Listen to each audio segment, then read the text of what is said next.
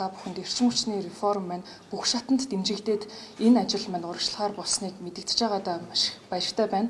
Тэгэхээр улсын хурал дээр 126 гишүүнээс өнөөдрийн байдлаар 103 гишүүн гарын үсэг зурж дэмжих бүлэгт бол нэгдэж орсон байгаа. Тэгэхээр энэ маань бол манай парламентын 80%тай бол тэнцэж байгаа. Энэ бол маш том дэмжлэг байгаа гэдгийг бол харуулж байгаа маа.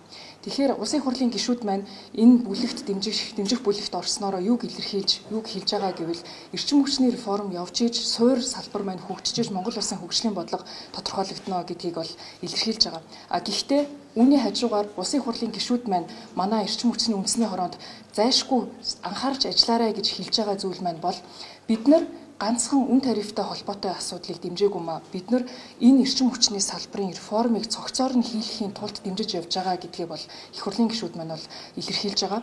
А дээрэс нь улсын хурлын гишүүд бол хянах шалгалтын үүргээ гүйцэтгэж эрчим хүчний салбарт нүүрсэн он удаан жил одоо бүтцээрээ шинжлэхдэггүй энэ асуудал дээр бол улсын хурлын гишүүд манлайлж ажиллана гэдгийг бас илэрхийлээд явж байгаа.